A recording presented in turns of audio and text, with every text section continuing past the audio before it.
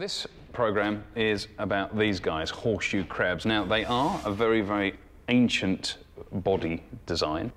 And what I want to know is just how old are they?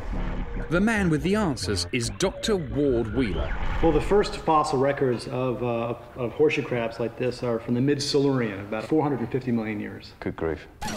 Yep, that's right. He did just say 450 million years. So, have they changed much in that time? Well, yes, they've changed tremendously. However, their external body features have not or are quite recognizable today. This is a fossilized horseshoe crab. Yes, this is actually from the Mesozoic, the time of the dinosaurs. Looking at this, it looks almost identical to the, to, to the external aspect of the modern horseshoe crab. The horseshoe crab is unquestionably one of nature's great survivors. In its 450 million years of existence, it's withstood several major extinction events that have wiped out great swathes of life. Why did these manage to survive those five great extinction phases to get well, to where uh, they are today? you put your finger on one of the great scientific questions of all time. Why did that happen? Why do some of these creatures go extinct and other ones survive? And I, I don't have an easy answer, but there are many hypotheses that have been suggested. Uh, certainly something major happened to the Earth. So I want to meet this weird survivor to find out just how it's withstood nearly half a billion years and whether today it really is reaching the end of the line. But I'm not going to the ends of the earth. In fact, all I've got to do is get out of New York City. But not far outside the city limits, it feels like I'm stepping back in time. The horseshoe crab spends most of its life scuffling around in the mud at the bottom of the ocean. So, how am I going to get my hands on one? Well, in Delaware Bay, a quirk of evolutionary history meets a quirk of coastal geography. Horseshoe crabs come ashore to spawn, and the largest number of them congregate right here. You'll see my hairy cockle. So, this shoreline is the place to start looking. I've never seen a hairy cockle before. Look at that, it's covered in this sort of, well, hairs. Now, this is something I've been doing again since I was a nipper. That's one of the uh, one of the conchs, one of the conches. What's great about it is the rules are the same wherever you are in the world. Now, we just happen to be in North America, and that's the Atlantic, but the stuff that comes out is what we're interested in. That's a mermaid's purse. That's what we used to call them as kids. And that there is the egg case of a skate. From a naturalist point of view, if you scour this, you can learn an awful lot about what's going on out there. And it seems I'm on the right track because there's plenty of evidence of ex horseshoe crabs. If your crab's broken, if you lost a part, you're bound to find one here. I mean, you've got loads of bits. Look, we got we got the uh, the opisthosoma there of one crab. It's like a wrecking yard for these animals. There's bits of crab strewn as far as the eye can see. It's just sad knowing that that there is the end of, I guess, 20 years of life.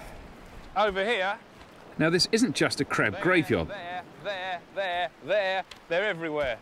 there's signs of life here too. This here, you think, oh, poor little thing, they hardly even got to adulthood and it succumbed. But this is the empty skin of a horseshoe crab that hopefully is still out there alive right now, growing up.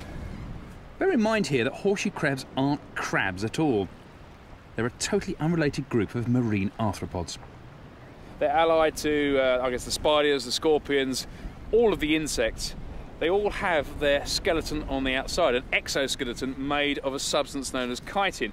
Now, you need to grow, and if your skeleton's on the outside, that poses a bit of a problem. So, what they do is underneath their skin, they develop another skin. And at some point, they crawl out, they'll split their skin, they'll crawl out of it, expand a bit, their skin or their new skin will harden and form the brand new skeleton. And this here is the old skin that's, that's been left behind. I've always been fascinated by this process because the details of the animal are all there. It's just a ghost of its former self. It's like a crusty, chitinous ghost. There have been crabs here, but if they only come ashore to spawn, how am I going to find a live one?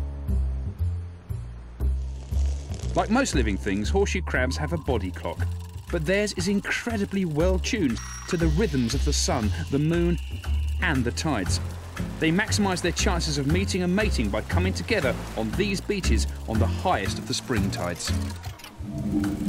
Now, these crabs might be underwater Rolexes, but my timekeeping's never been great.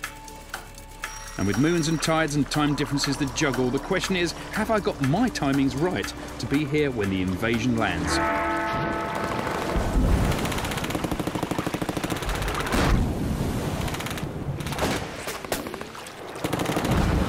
Now, these animals, they perform one of the greatest natural spectacles, for me anyway, uh, in the world.